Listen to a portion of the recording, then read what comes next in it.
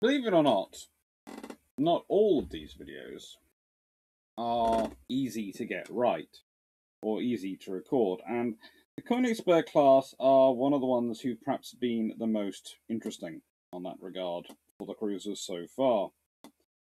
In that I am recording what is probably the ninth version of this particular presentation and discussion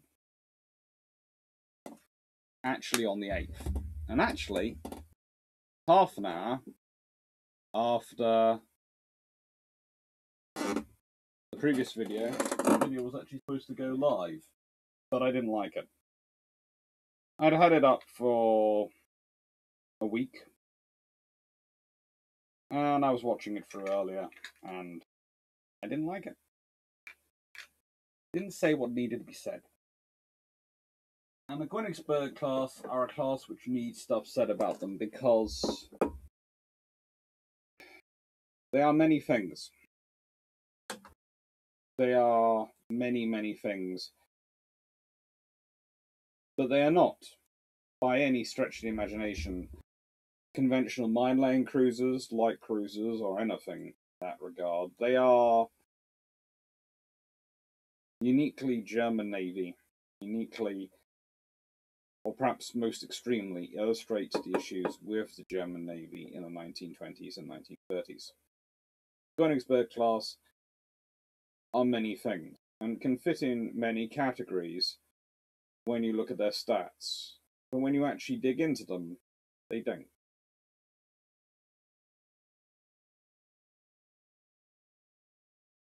Honestly,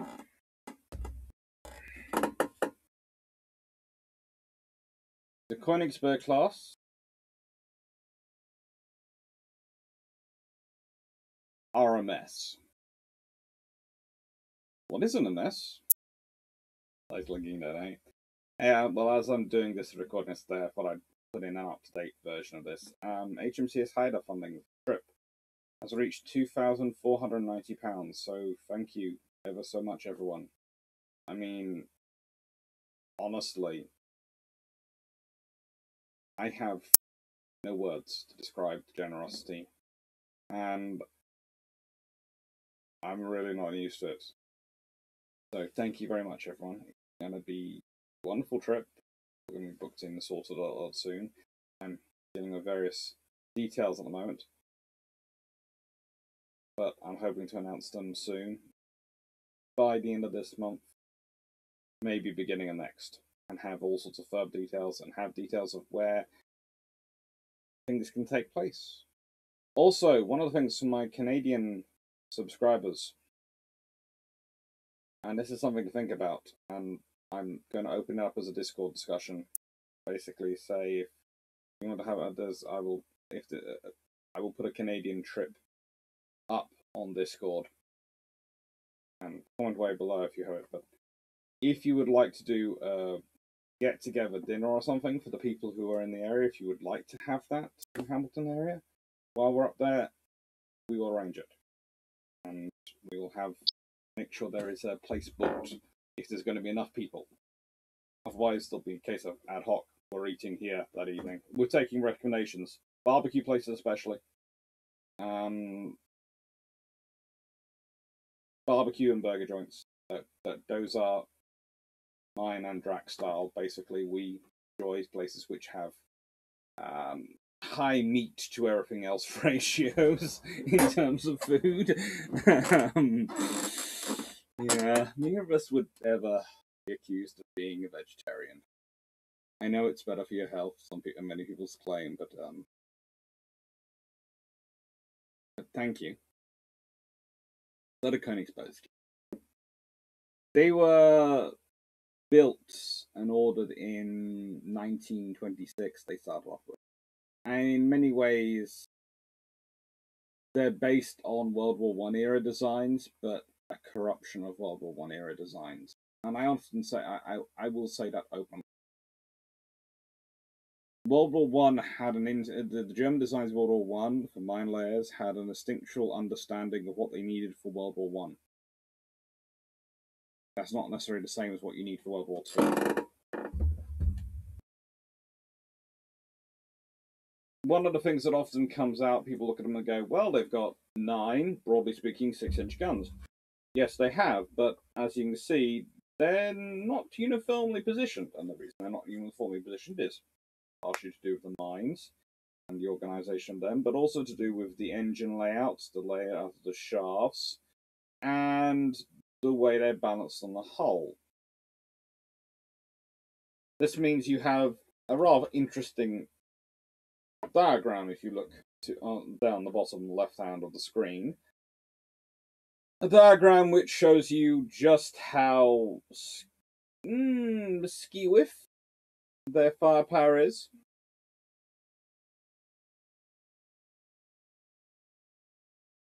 They are mean and fighting looking ships, certainly, but And this could well be coming from a traditionalist in me, but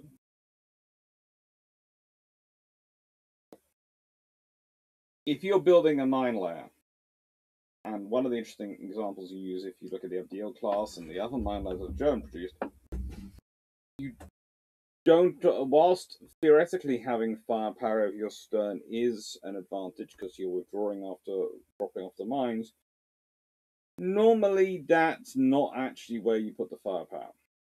Why? Because then you have a load of shells stored not far from a lot of mines. And honestly, you'd like to keep the two separate. If if all the mines go up, yes, you've got 120 mines aboard. You're probably not going to have much of a ship left. But you still, as a rule, don't like them kept too close to where you store shells.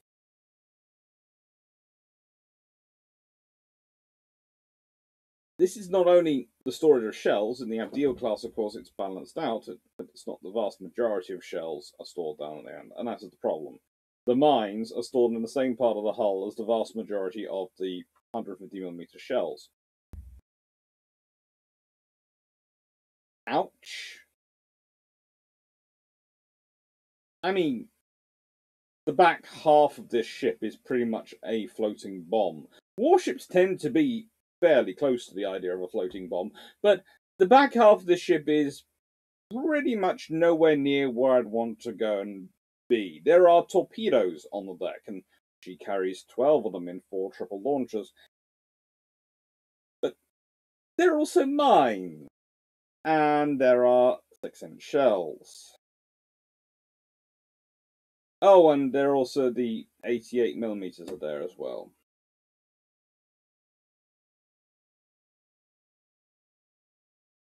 it's you can make the claim it's being trying to be efficient, etc., putting the engines in one spot, all the explosives in the other. But in a light cruiser, well, with this particular design, fact that all three are lost in various circumstances. One is sunk in an air attack, 1940. One is scuttled following a submarine attack in 1940, and one is sunk in an air attack in 1945.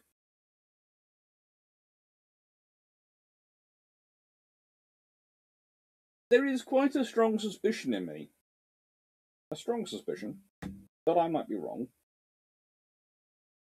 that this was not unrelated to the fact of their explosive storage capacity.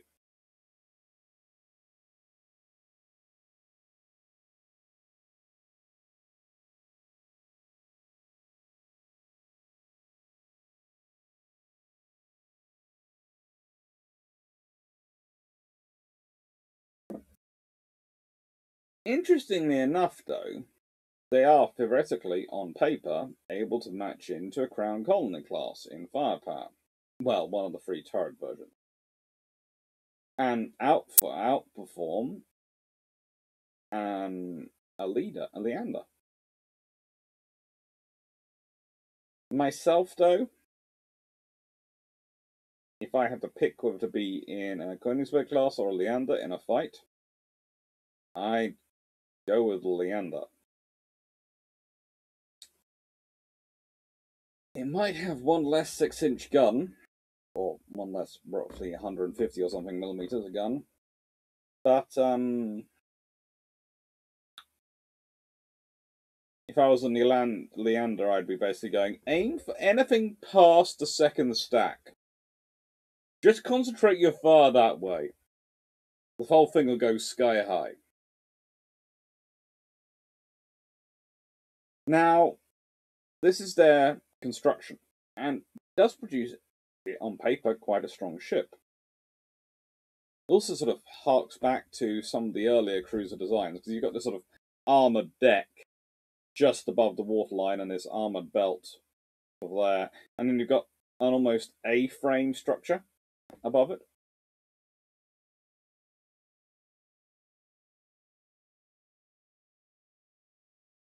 The turrets, as we can see, are chocker.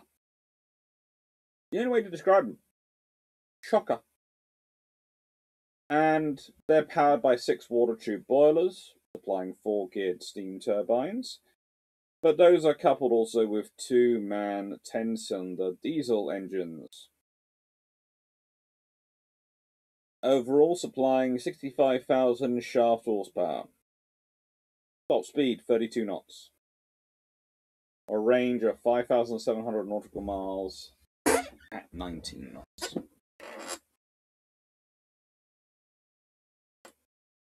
It's funny looking at these ships. They are, to me, as much a product of the need to build something as the Deutschland class are. They really are.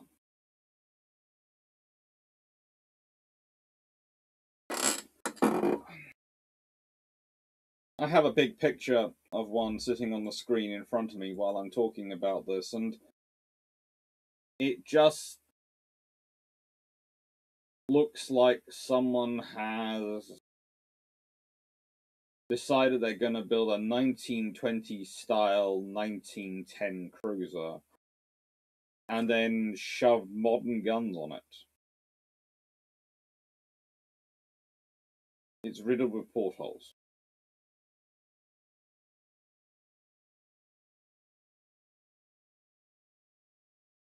At 174 meters long, 15.3 meters wide, and uh, a draft of 6.28 meters, they're not exactly large ships. Capable ships, and 6,100 tons in standard, um, 7,800 tons in full.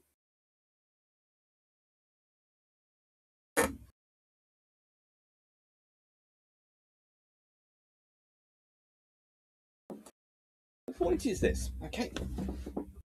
The Germans are not allowed to build capital ships. There's a huge furor over that, and some need to build a Deutschland class. But they are building smaller ships, so efficiency to designs are available there. You can scale up a destroyer design efficiency into a cruiser. They are able to build some of those. They're able to build torpedo boats. They have got some construction going on, and this is constructed in these are constructed in the 1920s. There is Königsberg is laid down in 1926, launched 1927, commissioned 1929. Karlsruhe is 26, 27, 29. Köln is 28 and commissioned in uh, laid, launched in 1928, commissioned in 1930, laid down in 1927.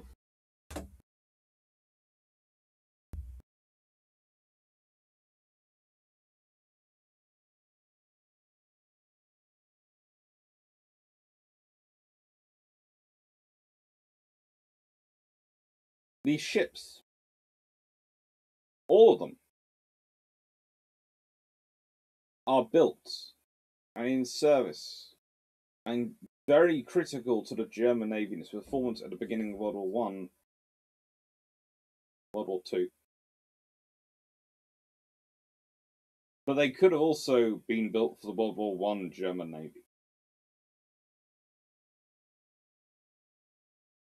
Because once you start digging below the depth, a lot of the stuff you're looking at is World War One, and we can understand that because they haven't built anything. But they've been designing stuff for the Dutch. They've been there are German design schools have been kept going around the world. working on the things for other nations. This design just screams of something which is less than it could be.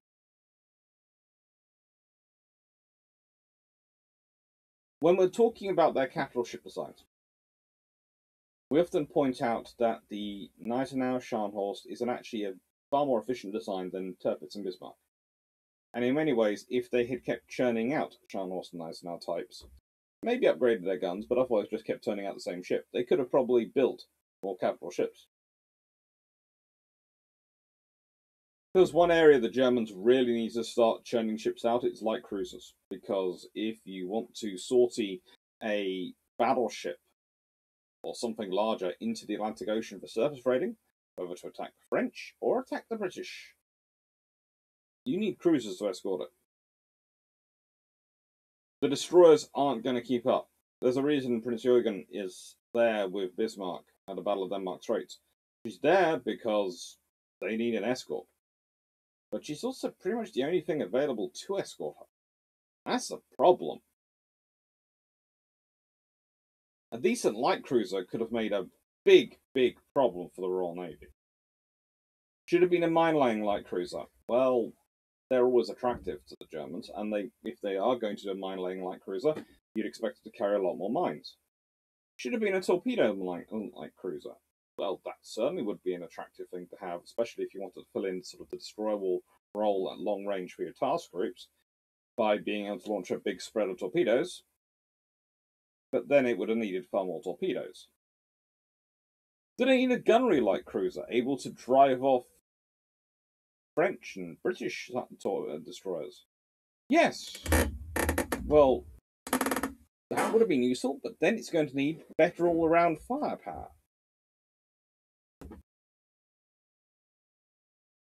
If we go back to this fire analysis page at the beginning, this one. Think about the destroyer crews they're building the face. Russian ones. Well, if they if they're in a scenario where if they come home with your head, they get to keep theirs. If they come home without your head, they probably don't get to keep theirs. How long is it going to take them to work out that, oh, yeah, if we attack from this side on the stern, or opposite side slightly off the off the forward bow,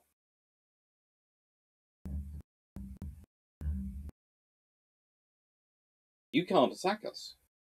And the thing is, destroyers are going to be nimbly coming around to try and fire, get close and fire torpedoes. They don't have to be in those areas for long. They have to be in them for long enough to give them a statistical chance. Yes, you can cover all the way around with firepower. But you can't cover everywhere to the same extent. And if I know where your weak spots are, and in this class it's fairly obvious where your weak spots are going to be, I can deploy my destroyers because it'll be multiple destroyers. It won't be a single destroyer attacking. It won't be one on one light cruiser versus destroyer. No, no, no. It will be flotilla for eight destroyers versus light cruiser. And once they get past you, then they get to the battleship. That's what I want to do, after all. Knowing that, hmm. So, is an attempt to fill all three roles? Oh, caramba. That is one of those questions which, the more I think about it, the more I wonder. Is it an attempt to fill all three roles? No. I don't think it's also either really an attempt to fill the mine laying role. I think it's uh, we're going to test out these capabilities. We're going to build something that has a theoretical capability in all three areas. And it's going to be good enough. But it isn't. Königsberg has a pretty interesting career. She's a pretty cool ship. Up until World War II happens. Um, she was originally ordered as Cruiser B, given the name a temporary name Ersatz Thetis. She's intended to replace the cruiser Thetis in service. She's laid down on a Reichsmarine Werft in Wilhelmshaven, which I'm going to be doing a discussion of later, in April 1926. She's commissioned in the Reichsmarine in 1929, and after her commissioning, she's assigned the duties of flagship of the reconnaissance force for the German fleet.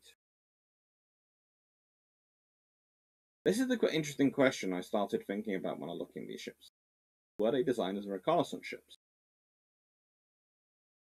32 knot speed, bit of mine laying capability, bit of gunnery capability, bit of torpedo capability, and the ability to carry an aircraft. Is that what forced compromise beyond everything else?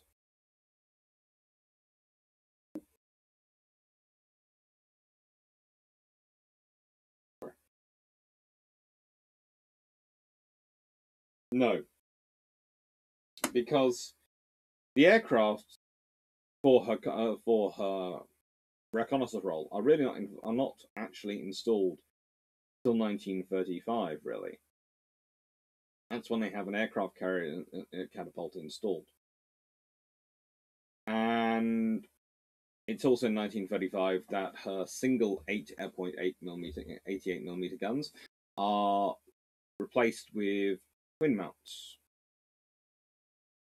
Well, they replaced uh, them with uh, twin mounts and they added in another two twin mounts. Nice. They had fire control directors for anti-aircraft guns, and during, well, after being employed as a gunnery uh, gunnery training ship during the Spanish Civil War, she participated in the non-intervention patrols during which she forced Republicans to surrender a German freighter they'd seized, and also spent a rather long time with the Royal Navy cruiser, usually playing and going, Hello! How are you doing today? Oh, we're just going the same way you are. Oh, you're changing direction. We need to go that way direction too. I think um, it was an Arethusa class was her usual her usual cover, but there's a debate as to which one it was which one was the usual cover. There are two, which seem, including Arethusa, which seem to seem to have the role, but they debate as to which one. Uh, the history books debate as to which one's more commonly giving the role.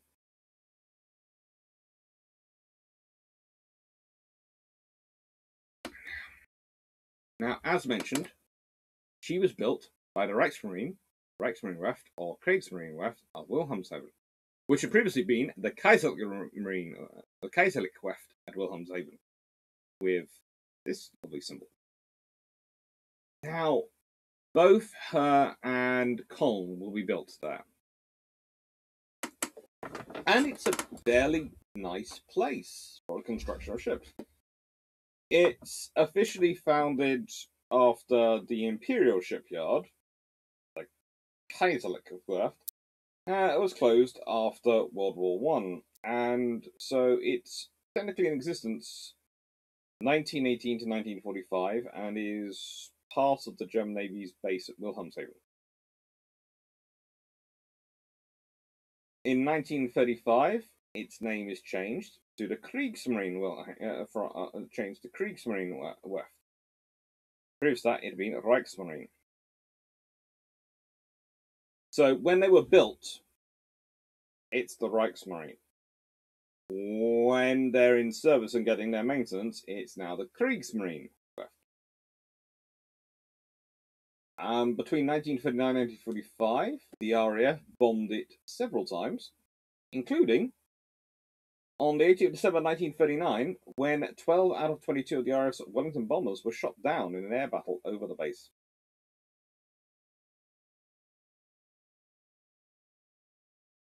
it has an interesting career in terms of building ships, and this again has a factor, I think, in German naval ship design. Because there's one thing what you're able to design, there's another thing what you're able to build with the industry you have available. Between 1920 and 1922, they built 28 fishing vessels. In 1922, they built four cargo ships. In 1925, they built Emden. In 1926 to 28, they built six torpedo boats. These are some of them. Type 24 torpedo boats. 1929, it's the it's Königsberg which is launched. In 1930, it's Köln. In 1931, it's Bremse, which is a gunnery training ship. And then they start getting the job of building the Deutschland class Panzerschiff. The Admiral Scheer first, and then the Graf Spee. And then they build the Scharnhorst, and then they build Tirpitz. And after that, they basically concentrate on Type 7 submarines.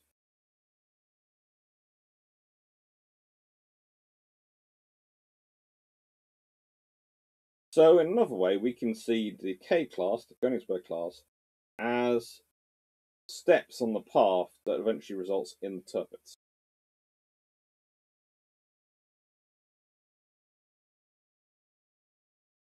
And you see, there's the problem here is, I know how it should go, but also there's a reality of how it's going to go, because of the uh, effects of Model 1, because of the treaty system. So yeah, I can forgive them to an extent some of the design issues, but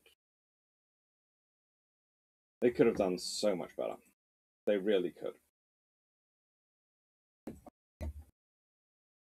Now, during Operation Weserübung, the ships, the cruisers, do take part. All three of them are critical to it. And that, of course, is the on the left of the screen is the symbol of the 69th Division, which is one of the critical units that Germans deploy in it. Anyway, Group 3, that includes Köln and Königsberg, and Bremse, all, of course, from uh, what is the, by this point Kriegsmarine uh, Wilhelmshaven. They go up to uh, to Bergen and drop off 1,900 troops up there, whereas Karlsruhe Karlsruhe, uh, along with three torpedo boats, is taking a whole lot of his troops, 1,100 troops, to Kristiansand in Group 4. That's two of the critical groups. You needed Bergen, you needed Kristiansand, you needed those areas, and they wouldn't have got done without these ships. These ships are the heavy hitters of those groups, but also the troop, ships that can carry the most troops, thanks to being mine layers. They have space. The other advantage of building a mine layer, you don't have to justify why you're building a ship with extra space. And ability to carry more top weight, or weight higher up in the hull, than you would normally design for. Karlsruhe, well, she's a special ship. She's also one of the ones we discovered underwater, and we spotted her. But she is built in a different yard. She's built in uh, Deutsche Werke.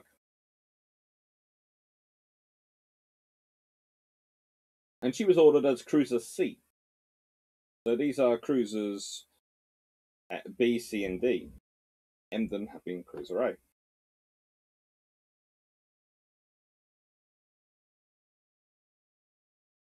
She was again originally supposed to be named a different name. She was supposed to be made um, named Medusa, but they decided they preferred Karlsruhe, which is an interesting name in German experience because there was a light cruiser, which of the Karlsruhe class, which had been launched in 1912, was sunk in 1914. There was a 1916 Königsberg class vessel, that, and also this 1927 vessel.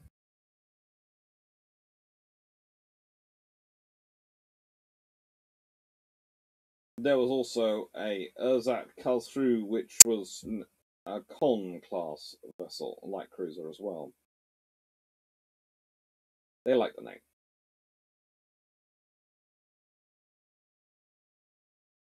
Anyway, whereas Uh, Königsberg had spent its pre-war time being a flagship and doing those duties.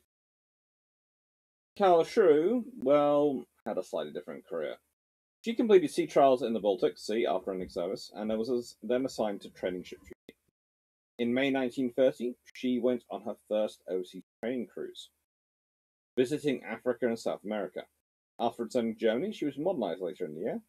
Her foremast shortened, her rear superstructure slightly enlarged, and over the next five years, she embarked on four more world cruises for naval cadets. She was, in many ways, the most visible member of the German Navy.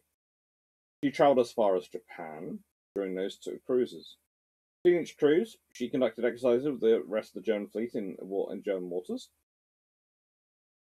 Uh, Gunther Lütjens served as the ship's commander from September 1934 to September 1935. Then she had more modifications made, including installation of a pole mast at the funnels, uh, funnels and an aircraft catapult. Her last training cruise was in 1936. During this, she was badly damaged by a tropical storm in the Pacific Ocean, and the structural weaknesses in her mostly welded hull plating caused the damage to worsen and get more complicated as times go on. She actually ends up being forced into San Diego in April for repairs. Hulls repaired and strengthened. This increased her displacement and beam slightly compared to her sisters. She returned to Germany in 1936, June 1936, and immediately went into dry dock for more permanent repairs and a major overhaul. During this period, it's when she had her 88mm upgraded to the new twin mounts. So she went from two single mounts to three twin mounts. Fire control directors were also installed for these guns, and it was after emerging from the refit she took part in sea trials and then joined the, again herself the non-invasion patrols from the Spanish Civil War. Again, though, she ends up with a Leander class usually covering her. Her war service was interesting. But of course, she was the one built by the Deutsche Werk. And it's kind of interesting, I think, that it's the, you know, Group 3 are all the ships which come from the Kriegsmarine Werft, and then the Deutsche Werk uh, ships are also in Group 4. I'm not sure if the German Navy was going for dividing up by which shipyards the ships came from, but that's what they achieved.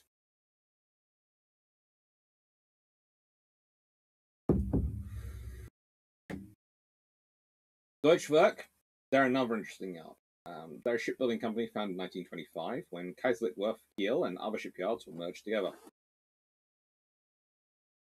Basically, it's a product of the Treaty of Versailles where everything's forced to tr- shrink.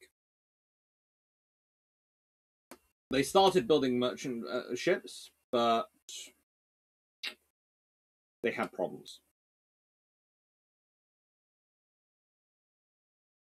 They had problems in that they never really got enough orders. And so when the Nazi Party gained power in 1933, they shift production from being occasional warships to, and uh, mostly merchant ships, to being far more naval ship orientated. They're also the shipyard which builds the Deutschland, which builds the Blücher, the Gneisenau, the Graf Zeppelin, and various destroyers and U-boats. So they're quite uh, quite a good yard. But honestly, that's not what they're most famous for around the world. In fact, this is going to go in a slightly random direction because they're quite famous around the world for something else. Ortgies, the 7.65mm normally, hammerless semi-automatic pistol, although you can also get it in a 6.35mm and a 9mm Kurz variant. And the 9mm Kurz variant is kind of an interesting weapon because on that one, my granddad's brother had one of those in World War Two. He handed it in at the end, but he did have it during the war. He had a second pistol, which he'd managed to acquire somewhere. He, he came back from Norway with him. So he had a 9mm Kurz, as well as his Browning. Which he considered a sensible thing because it, they took the same ammunition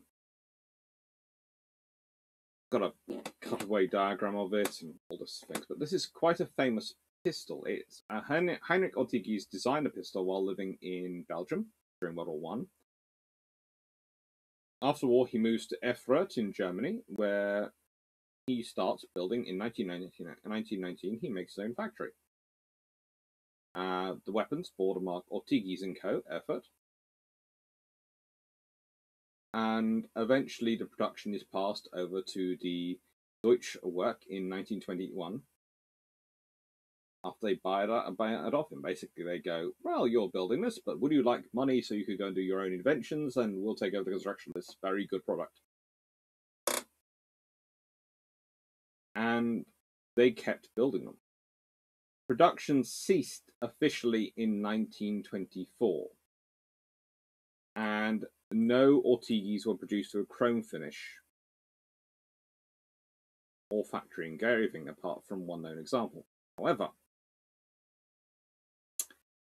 we do know that Adolf Hitler presented Eva Braun with an Ortgies 6.35mm, which has been sold many times because it came with a small gold plate, uh, gold plate inlaid into the side of the slide, stamped Eva Braun, present to her.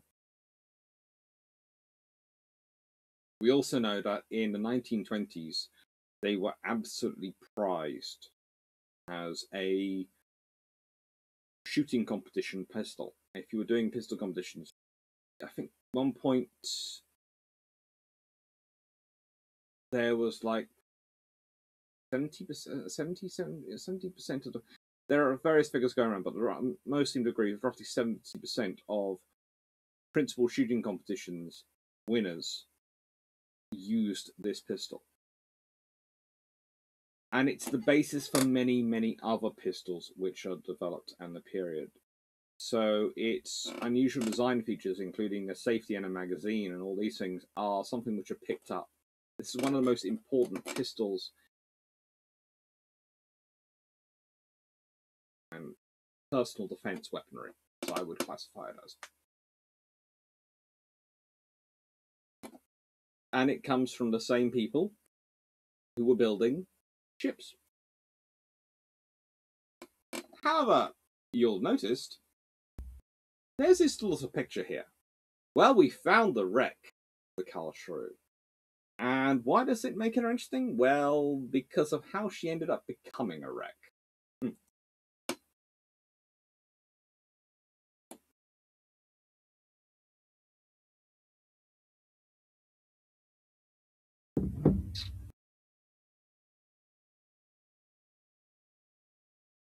Thanks to HMS Truant. And I am now going to resist all the urge to make jokes about the Germans shouldn't have been out of school and play, playing out of school and invading Norway and all those other things because they were sunk by HMS Truant. But let's start off with this. The invasion force departed for Operation Weserübung from Bremen on the 8th of April 1940. She was under the command of Captain Zassi, Friedrich Grieve, and he was in charge of his uh, force as well as his ship. When it arrived at Kristiansand, heavy fog covered the area and it made the passage of the fjord outside the harbour very dangerous, naturally. Let's be honest, fog is not good for moving ships around close to shore, especially not in Norwegian fjords. The German ships therefore had to wait until the morning of the 9th before to begin to attack.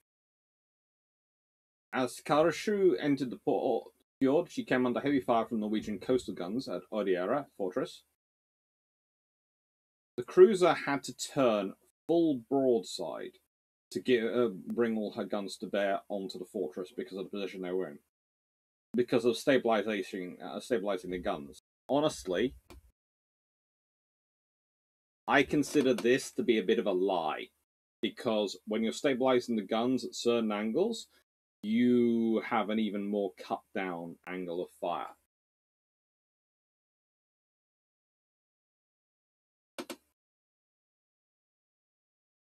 Eventually, Norwegians surrendered an hour later, and the German ships landed their embarked troops.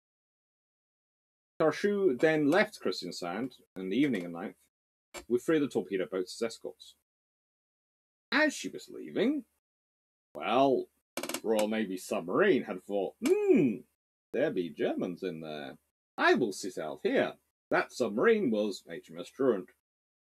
Now, HMS Truant is a very special T class, or rather, not so special T class, because, as we all know, the T class have one particularly good saving grace.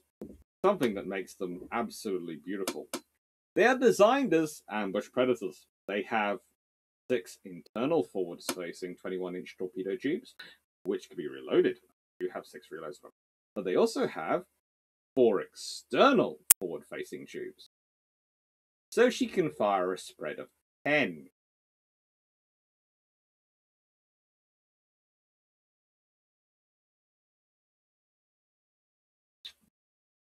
And guess what I'm going to say happens? Truant sees the German ships. It doesn't really take much. She aims as much as he feels like it. But she fires a full spread of torpedoes. Karlsruhe um, took evasive action, but one torpedo struck her on the starboard side amidships, which blasted a huge hole in her because as we if we go back, we have a look at this lovely, lovely design of a how to build a light cruiser. There isn't really much spacing between a huge central cavity, is there? There is latitudinal bon- uh, bulkheads, but the longitudinal bulkhead not there.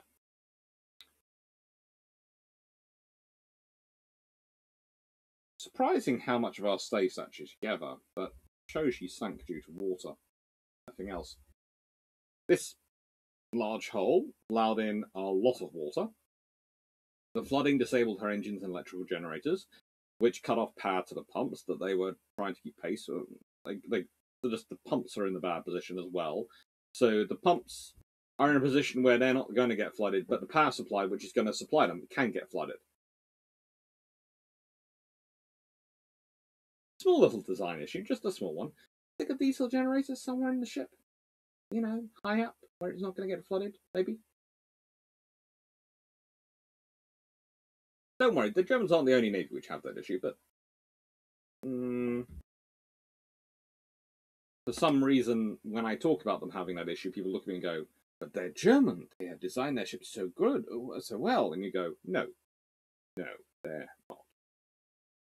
It is the it is the fault of the Treaty of Versailles and various other things, but let's be honest, the pre World War One and World War One German Navy will has moments of good of good of brilliance and goodness, but is it's not that great either in some respects because the Navy is always suffering from having to push up against both its own army and everyone else's expectations of it.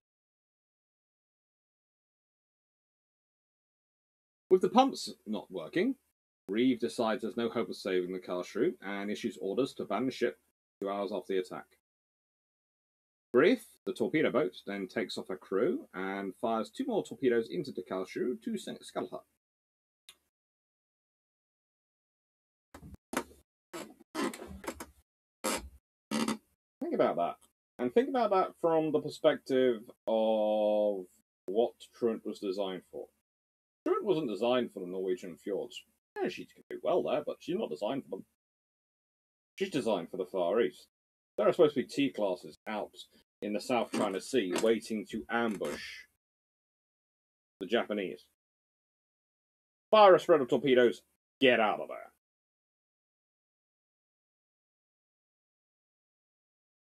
That's the reason you have 10 torpedoes to fire in your spread. Because that's a dense enough spread that if you fire it at a group of ships, you're bound to hit something. And if you actually sink a ship, well, that's useful. But if you just damage a ship, well, that can be even more useful because a sunk ship can be left behind and you can carry on.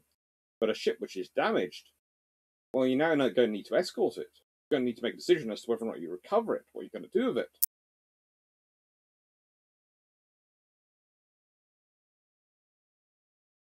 There are some people who play rules of war nicely. Sea class are not designed to play it nice. Con. Of course, the other vessel from the Kriegsmarine left. How do I put this? Köln is a special ship. She is the vessel which survives the longest. She doesn't have necessarily the best career. In fact, honestly, you can say that prior to World War II, when she's Cruiser D and she's contracted on name Ersatz Arcona, replacement for, again, the old Cruiser Arcona,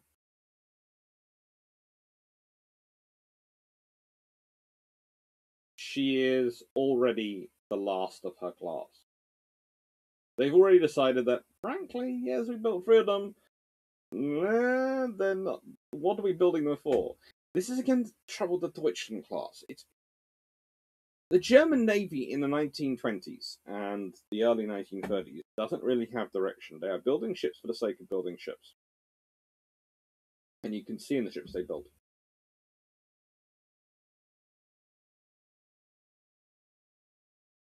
You can see it.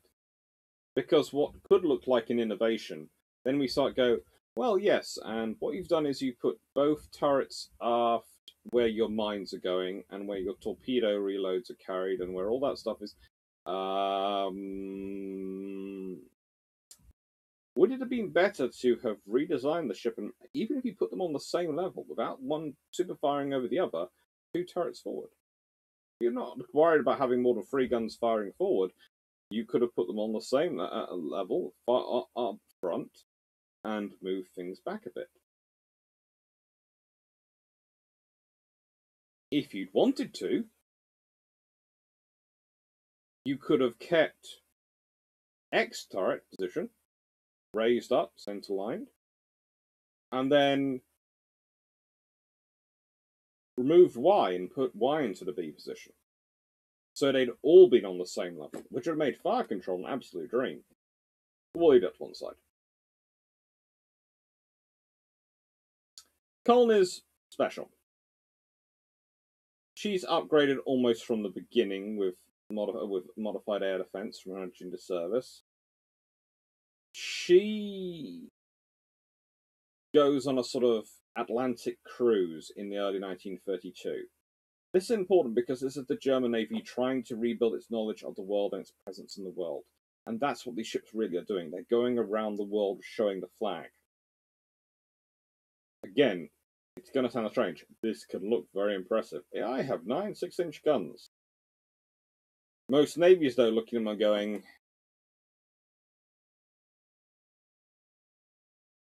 and this has an impact. Okay, I don't think anything specific is done by the Germans in the, with this aim, but there is a certain impact of seeing some of the German designs, and this doesn't come back in the post World War II literature, but definitely in the pre World War II literature, where navies like the U.S. Navy, the Japanese Navy, the Italian Navy, the Royal Navy, the French Navy, are looking at German designs and going,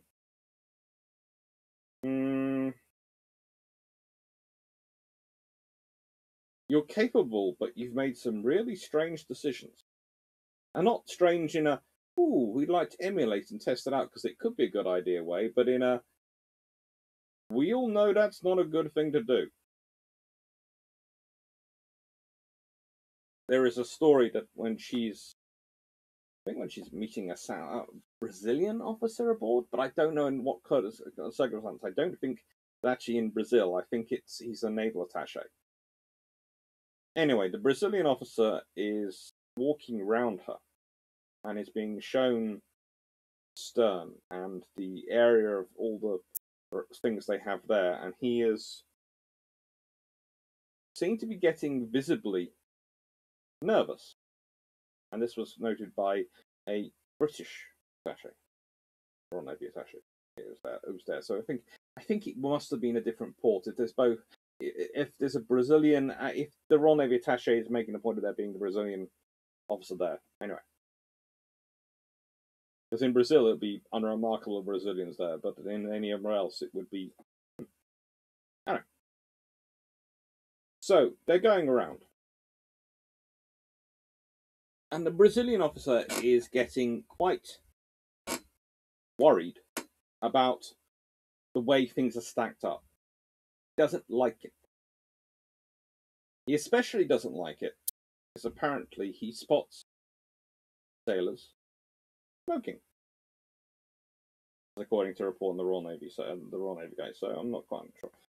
And he doesn't think they should be smoking, even though they're not in the actual spaces. Shouldn't be smoking that close to the spaces which have such a range of explosives nearby them. I'm sure on a world cruise they're not actually carrying mines. But that story stuck in my head. I read it in a. Ooh.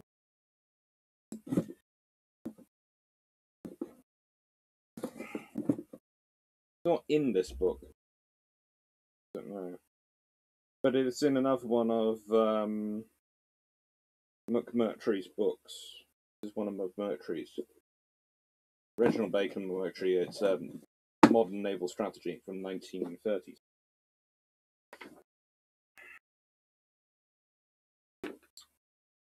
Got a list of his books in here, but I know it's one of the McMurtrie books I read the story in. I think it was a think it was his, his travels as a naval attaché. But it just stuck in my head and going, okay, why? Why is that affecting you? Why is that worrying you? And it's because of the layout, I think. I think the layout there. I, I think there's obviously things in the layout which are look great on paper to the designers, but which, if you've got the experience of operating ships, you would never do. And probably the reason the designers have made the decision is because there isn't literature around about those things because it's just an unspoken design decision. It's an unspoken thing. You don't do that. If you try to push it through with the in the, the third Sea Lord's office would stop you with the Royal Navy or anything, they just go no. And I think that's the issue with German ships. Sometimes when I'm looking at them, there are lots of things which are they have lost so much institutional knowledge at the end of World War One. They have lost so much institutional memory, and they have had such a scattering to the four winds of people, of constructors, of naval officers, of people who know what they're doing, and then they've had all the issues in the a term on the Weimar Republic and all the things going on.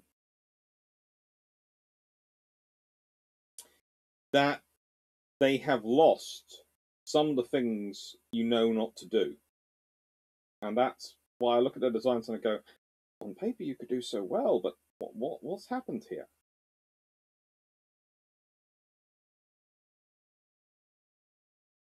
Anyway, uh,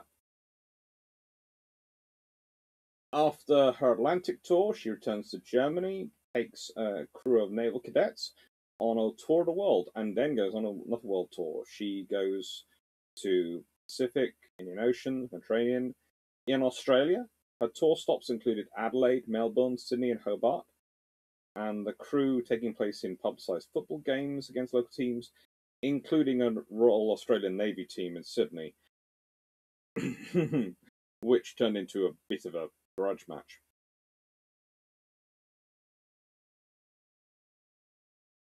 It's also quite a cool game, the story, uh, the history of it, and there are some pictures around of it if you go and search uh, you will find links to those pictures in the Australian National Maritime Museum, and it's worthwhile looking them up. Video, because copyright, as I understand. Um, can go find them online on the Australian National uh, National Maritime Museum website. Anyway, the Köln had an interesting career, and as I said, did serve through World War Two. She just gets sunk at the end, but she spends most of her time, World War II, after Operation Weserübung, being used as a test ship for this. The Flettner FL-282 Hummingbird, or Kolibri, intermeshing rotor helicopter, designed by Anton Flettner of which first flew in 1941, was introduced in 1942, and retired in 1945. whilst the Luftwaffe were the users and 24 were built, they were actually supposed to be for naval operations. Um, the A1 was a single seat naval reconnaissance type for cruisers and other warships. And the A2 was supposed to be for submarines with a special deck, was never built. And the uh, B1 and B2 were two seat land reconnaissance liaison helicopters. They spent most of their naval testing was done on on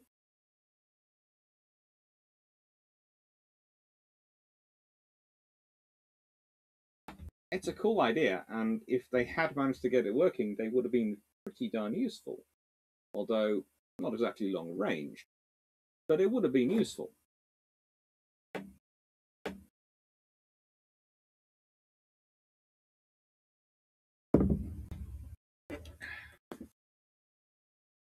So here's a summary.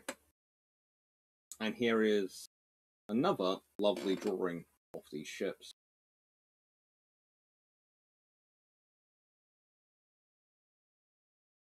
The more you look at this design, the more you see just how crammed in it is.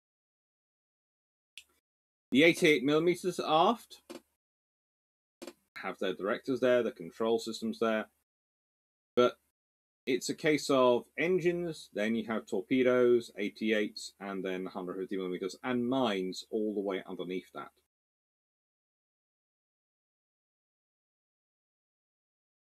That is a very crowded end.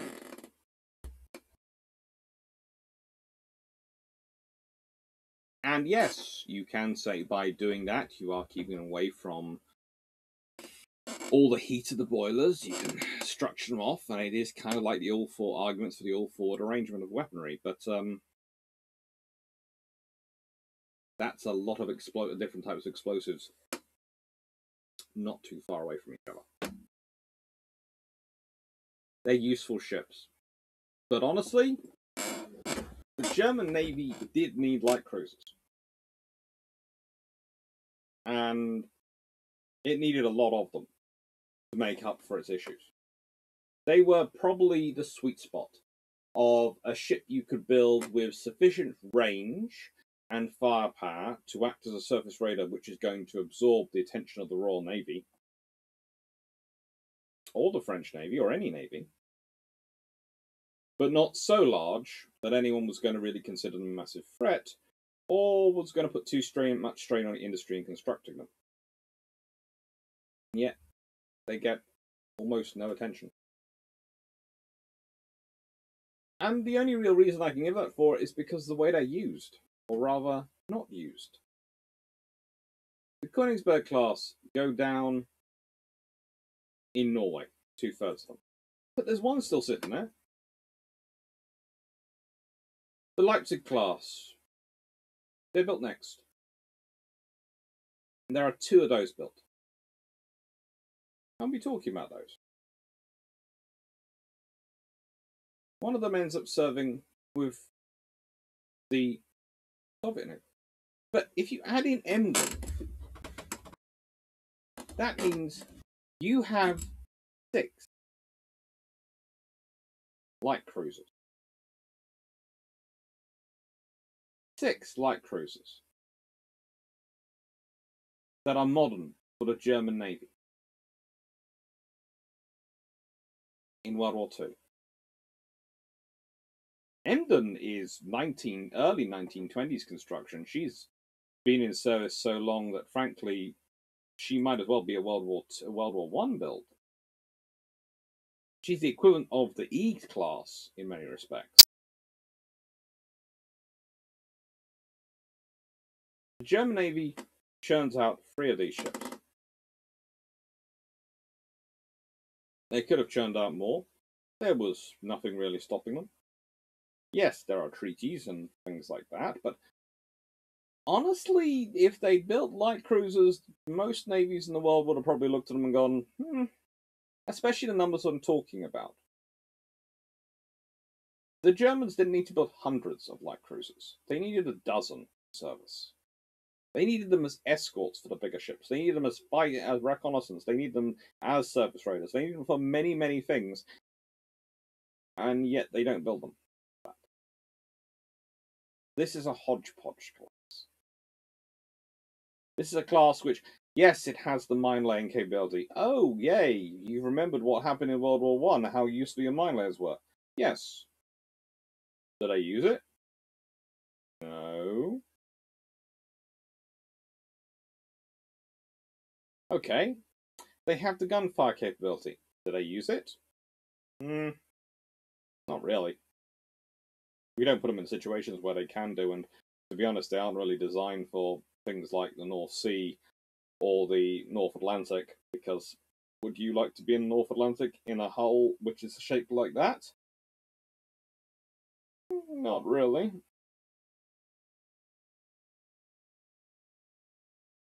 So they're mainly Baltic ships. So you're going into a narrow space in the Baltic where your weakest firepower is forward.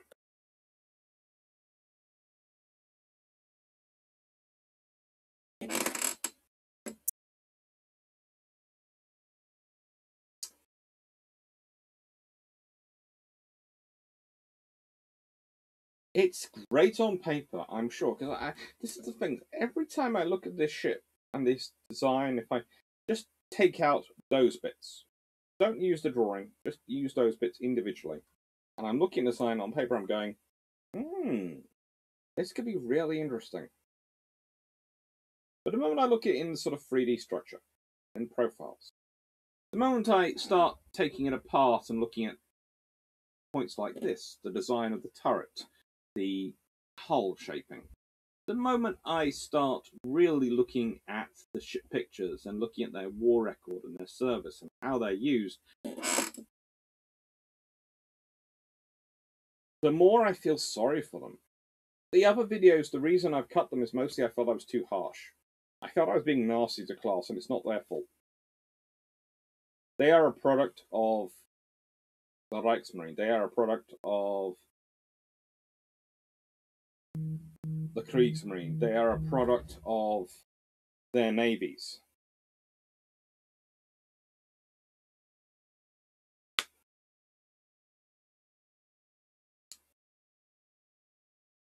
But they are not really built by them. And when I say that, I mean the navies keep shifting around in terms of what they want. And so they order something because it's better than nothing, but they're not really involved in the process of building to my mind, these ships are no more representative of what the Kriegsmarine or Reichsmarine wants in terms of light cruisers than their destroyers are. They're ordered because they need to order something, not because they really know what they want. And that's what you why you end up with this sort of ship. This is why you end up with a ship which has things which honestly the naval officers in the Krieg, eh, in the Kriegsmarine, in the Reichsmarine, should have spotted and should have gone. Yes, I know that's a nice idea on paper, but before we go too far, no, because there's on paper and there's reality. On paper, it's brilliant to store all your you know, together and have the magazine cooling and all these things. Lovely. In reality, you want spacing because certain ammunition types are slightly more likely to have, uh, uh, have issues than others. And if you're going to have issues with those, you want them to be as far away from the others, which tend to be the bigger ones that have the bigger bang.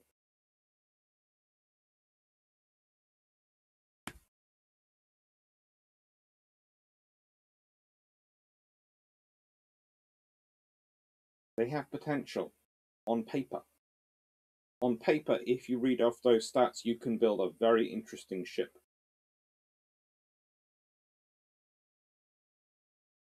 But not these ships. Because people were involved and they didn't really care. That's the thing I ultimately, the decision I come to. They look like they are because the people don't care.